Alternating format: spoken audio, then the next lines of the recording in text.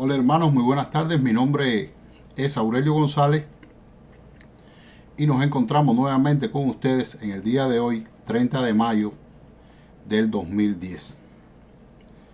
El primer tema que queríamos tocar era relacionado con la huelga de hambre que mantiene nuestro compatriota Guillermo Fariña desde hace más de 95 días.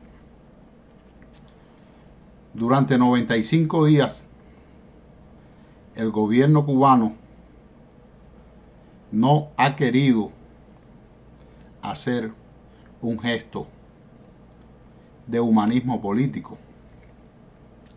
Hace alrededor de 10 días lanzó una falsa alarma que hasta el momento no ha podido verificarse en la práctica y consideramos que utilizando como víctima de esta maniobra a la Iglesia Católica, el objetivo es buscar la manera de que nuestro compatriota Guillermo Fariña desista de la huelga de hambre y que las damas de blanco no continúen haciendo las marchas pidiendo la libertad de sus esposos y familiares. Nosotros queremos enviarle al compatriota Guillermo Fariñas un mensaje de apoyo a todos los compatriotas que se encuentran en huelga de hambre y bueno decirles que nosotros estamos con ellos y darle las gracias por ese gesto tan valiente, altruista, noble y humilde que han estado protagonizando.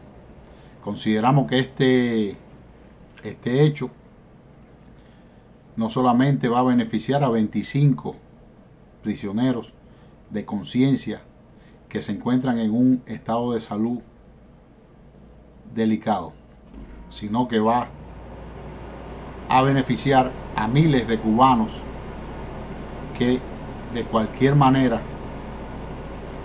podrán algún día encontrarse en una situación de rebeldía porque desean una mejor patria y una mejor vida para los ciudadanos cubanos. Nosotros les mandamos, les mandamos a todos un abrazo y que sepan que los llevamos en el corazón. Muchas gracias.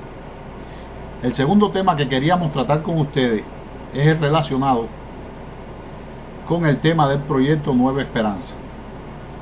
De acuerdo a la metodología de trabajo que nosotros hemos seguido, en esta ocasión vamos a comenzar a impartir una serie de videoconferencias que hemos ido preparando con el objetivo de dar a conocer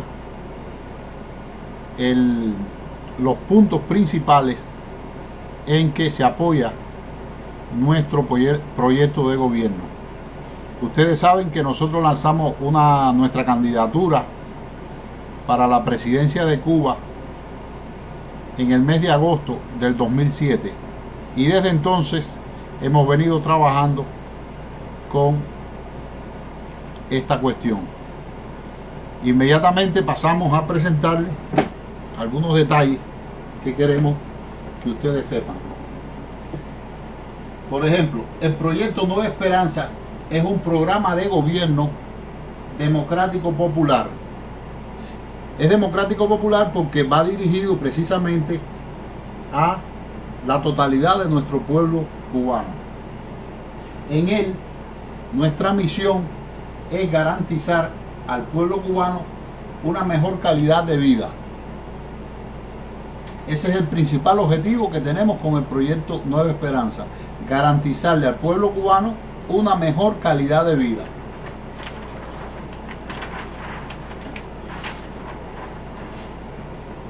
Dentro de la misión que tenemos que cumplir, los objetivos que hemos detallado son específicamente cuatro. El primero, establecer un sueldo mínimo igual o equivalente a 300 dólares mensuales para todos los trabajadores, sueldo mínimo. Fíjense bien, me estoy refiriendo a sueldo mínimo. y una jubilación mínima de 100 dólares mensuales. Me refiero a jubilación mínima. Es decir, que hacia arriba no tenemos ningún tope. Nos referimos específicamente a dólares de los Estados Unidos en su equivalencia con la moneda cubana, porque es precisamente la moneda que se utiliza mundialmente para establecer los rates de cambio. Nosotros queremos que el pago a los trabajadores mínimo sea equivalente a 300 dólares mensuales y jubilación 100 dólares mensuales. El segundo punto es legalizar el derecho de todos los cubanos a constituir empresas, ya sea individuales o asociados con nacionales o extranjeros. Ustedes saben que en estos momentos el gobierno cubano es el único facultado de la parte cubana para asociarse con empresas e inversionistas extranjeros. En nuestro proyecto queremos que todos los cubanos tengan ese derecho de manera libre.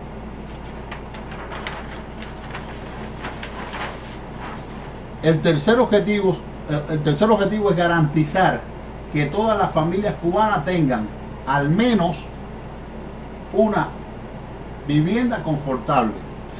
Decimos al menos porque puede, el que pueda tener más de una y la pueda arrendar, bienvenido sea. Que tengan agua, electricidad y o gas en caso de que sea necesario, teléfono, internet, las 24 horas del día, los 7 días de la semana. Igual queremos que tengan comida liberada en grandes supermercados a precios módicos o razonables o precios de mercado y un auto nuevo por familia.